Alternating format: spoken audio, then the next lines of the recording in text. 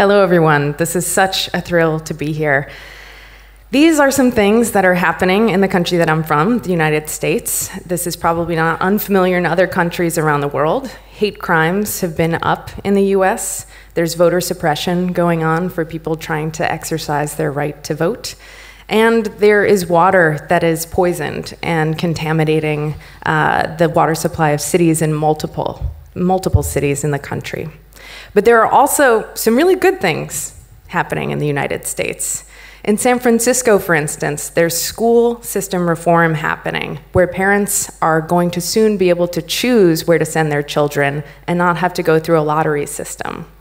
In Chicago, just a couple weeks ago, Muslim communities came together, African American Muslims and Arab American Muslims, to talk about racism within their communities. And in Nashville, a park was rededicated to the African American community there after being uh, misnamed for a long time, which I'll get to shortly. So, how did these good things come to pass?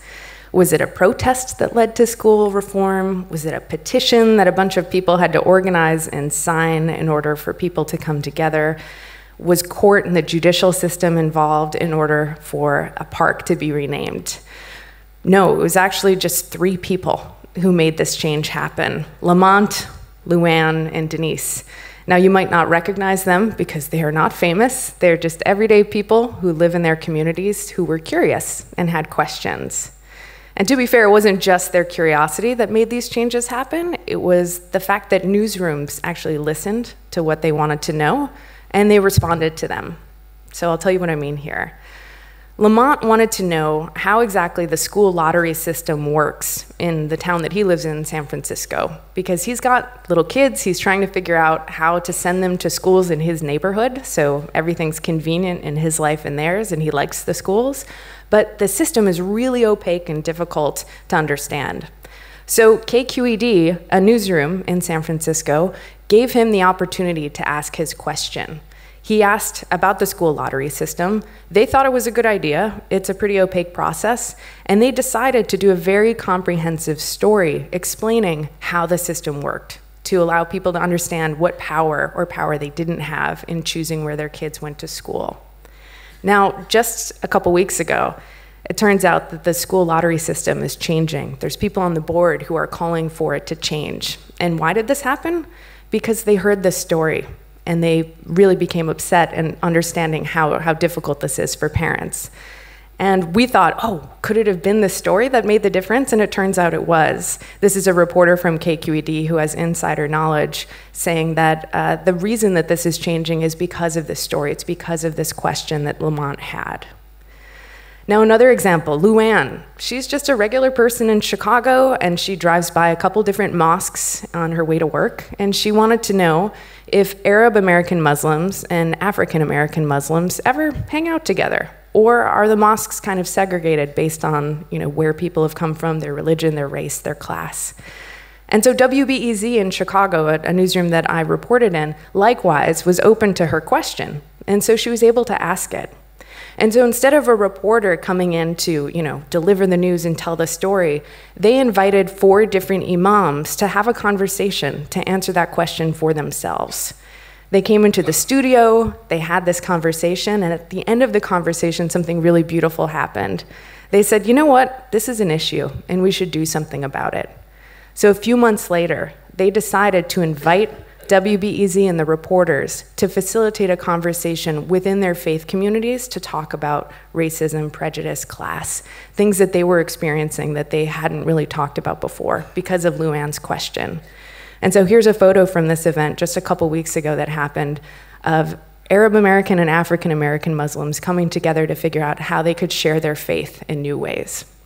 This was not for a story. This is not for, you know, the, the reporters didn't go out to do this, to put it on their air or to put it on their website. They did it as a service to the people who were asking them to help. Now, one last story, and this is one of my favorites. Denise lives in Nashville, Tennessee, and she drives by a park all the time called Fred Douglass Park. And she figures if a park is named after someone, that person is probably famous. So she didn't know who Fred Douglass was, and she just asked. Again, a newsroom was willing to listen. They took her question and they started to look into it. Now, immediately they thought, hmm, there's a man named Frederick Douglass, which is pretty close to this name, but it's spelled wrong. And he was a very famous person. He was an abolitionist who worked to abolish slavery. And the newsroom started to look at the archives and try and understand who is Fred Douglass, because there's no famous Nashville person named Fred Douglass.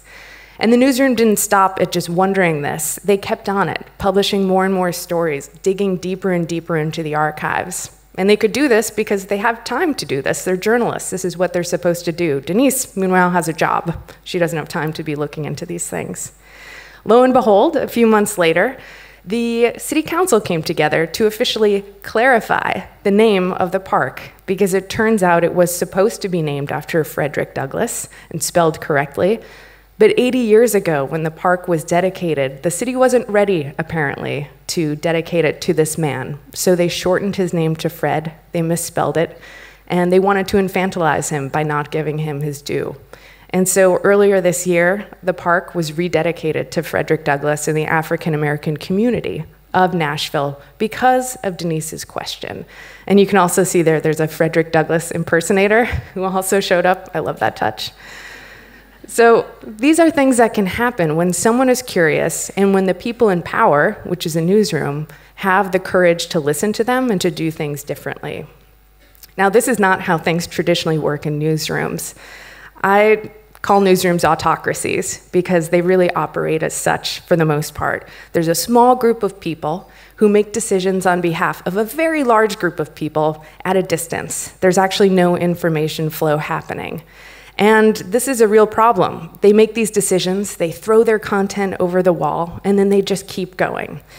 This is an even bigger problem when newsrooms don't really represent the people that they're trying to serve, whether that's by their race, their class, their ethnicity, their life experiences. They have limited perspectives that are going to inherently lead to limited outcomes because they're just a few people who don't have the life experience of everyone else.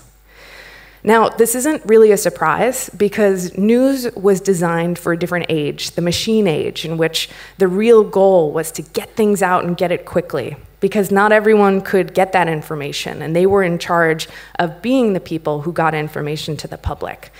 In the US, we have this phrase of we have all these beasts to feed. So the entire machinery of the newsroom is optimized for speed and distribution and getting that information as quickly as possible, beating your competitors. Where it used to be, you know, getting the, the paper to press, now it's getting, you know, the smartphone alert or the Alexa, you know, uh, voice alert or the video out into the world. And it's no surprise that the public was not ever involved because that would be inefficient. That would be harder. That would be less predictable. And so the public was shut out of the decision making process because there wasn't a reason to bring them in. And then they were really just treated as a consumer from which to extract value. So the content was thrown out their way, and then we said, please give us money for this. Thank you very much. Put in another way, this is kind of how journalism acts. It's at a, a, distance from the public. It is elevated. It looks at the public as a series of demographics or data or dollar signs, as an abstraction. And how newsrooms typically approach this is with this kind of paternalistic, you know, this is what we think you need to know, public. We're going to tell you what we think is important. And this is how it looks when you get down to the granular level of how stories are created. The public is not meaningfully involved in any decisions. They only get to be involved after publication, after all the decisions have been made and the newsroom is running on to their next story because, hey, they have a beast to feed. They don't have time to sit around and learn from each other. They have to keep reporting. And when the public is involved, maybe they can comment, uh, which we know is not the most productive place for insight and discovery, as it turns out. So there's an emerging newsroom operating system that I've been working hard with other reporters around the world to start to imbue into newsroom culture. And it's really designed for the information age. Right now, we all have infinite choices as to what we're reading, what's getting our attention. And so instead of newsrooms being the first to beat their competitors, they need to be the most relevant and useful to the people that they're serving. And so the question has to change. Instead of the beast to feed, and instead of how quickly can we get this out there, they need to change to help, understand, help the public understand what they can do or learn. And in order to do that, the public has to be involved. They have to be able to tell them what it is that they would like to understand or learn. They need to be present at the editorial table when decisions are being made. And this changes the relationship in a really profound way. They become treated instead of as a consumer, as a partner. And instead of someone to extract value from, it's someone to create value for. And so, put in another way, it's elevating the public and treating them as individuals with rich stories and insights, not just a big mass and an abstraction, but people who are valuable, who have things to share, who have things that will make stories that make their communities better. And the operative question here is what do you not know that we can find out for you? Because you can Google all day long and find lots of different things out there, but what do you not know? What information hasn't been produced yet by a, by a reputable source? That's what we can provide for you. So, how this can look in a story is really exciting. The public can be involved at every step of the way if the newsroom so chooses. So not only can they ask their questions, but the newsroom can curate the best ideas, put them up for a vote, and let the public actually decide what content is being made on their behalf. Because if citizens are the most important actor in a democracy, then they need to get the information to do their work as citizens.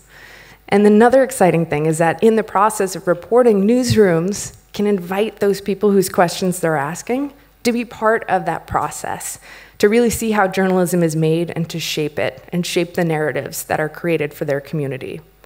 And this feedback cycle can just keep happening over and over again. There's really no end in sight. Curiosity is a renewable resource, and it's always there for the newsrooms if they're willing to listen. So, this is really rewriting the power of journalists. It's not taking power away from them, it's actually generating new power. They go from being a gatekeeper to being a connector.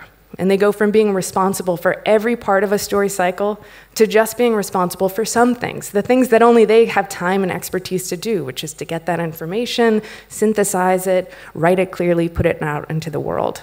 And instead of working for the public, they start to work with the public. Now, this also rewrites the role of the power of the public. So traditionally, they've been passive. Now they are active. They've been a consumer, and now they are actually creative. They are tapped into. And where before they could really have no influence on what stories were reported, except for clicking on things and you know, trying to get those metrics up so newsrooms repeated, now an individual can have direct influence on what stories get reported. So, Hearken is the company that I've been running for the last three years, trying to systematize this process and help newsrooms work it into their everyday methodologies. And the word Hearken means listen.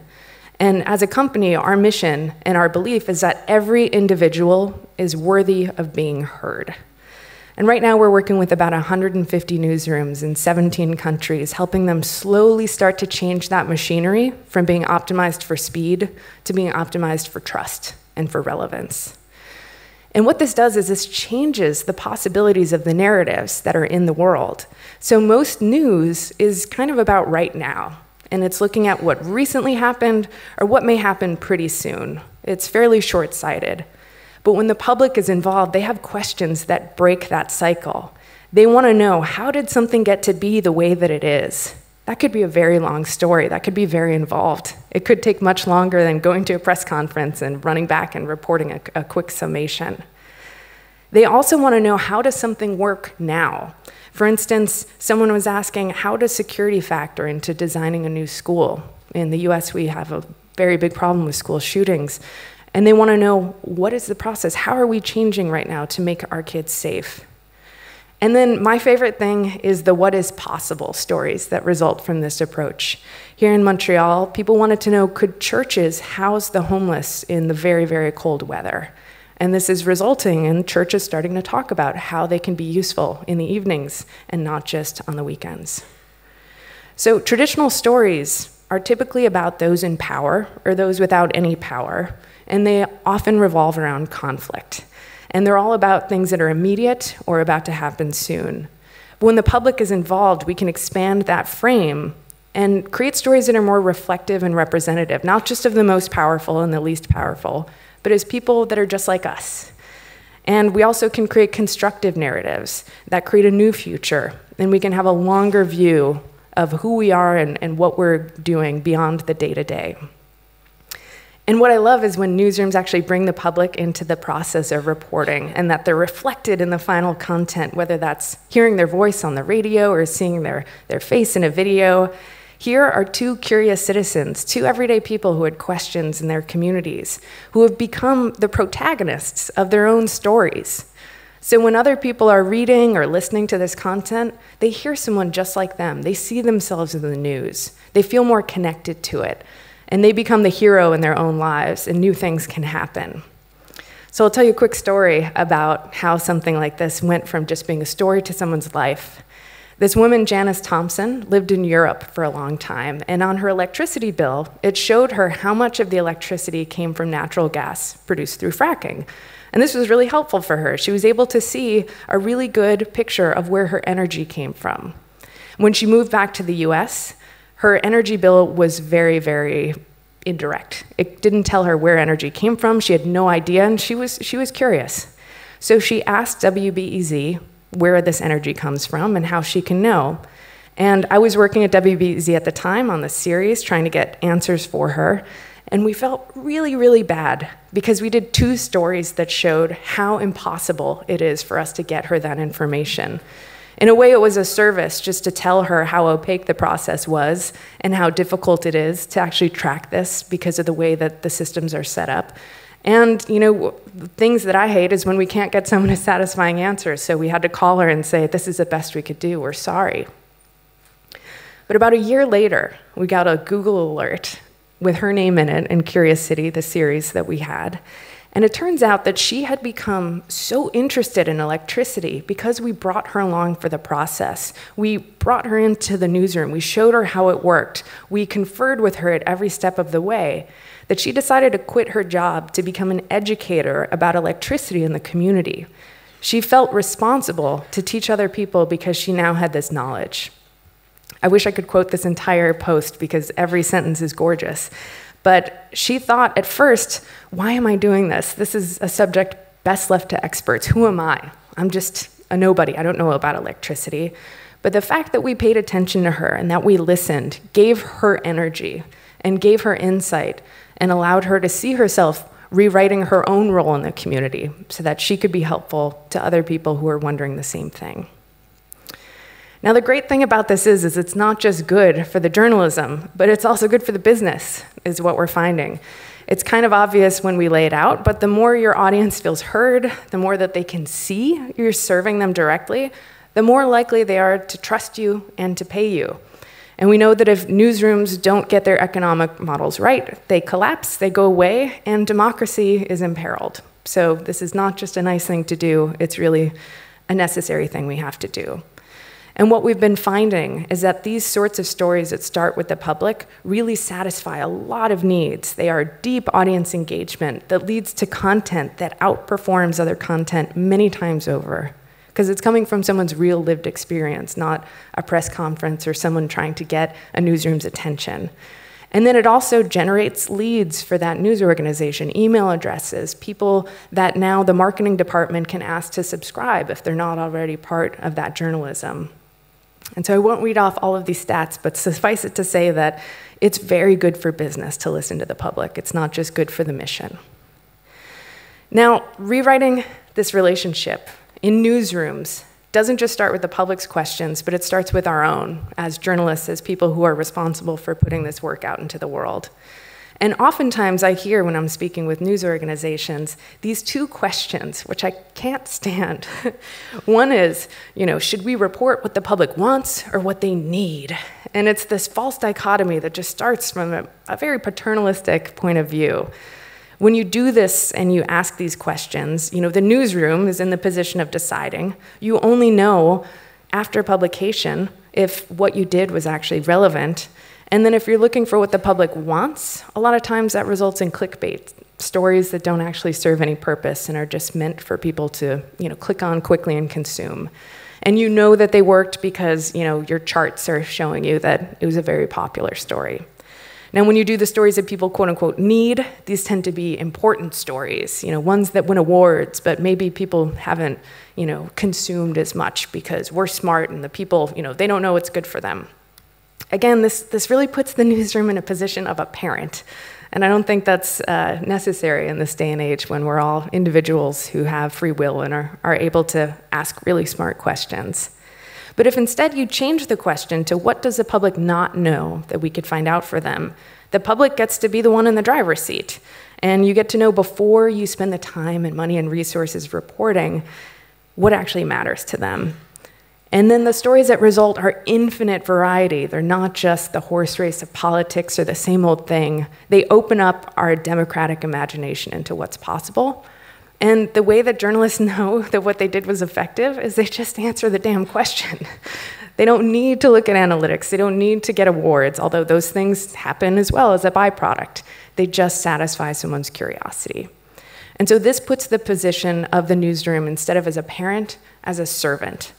And I think that's a more appropriate role of a newsroom in this day and age. So, for those of you who are not working in the media, I want to leave you with a question, which is what do you wonder about that you wish a journalist would investigate? Because after all, that's their job. They have the time, they have the resources, they have the expertise to get answers for you. And if you do work in a newsroom or you do have the power of telling stories and getting them out to a wider audience, I want you to answer what would it take for you to listen to them? Thank you for listening to me.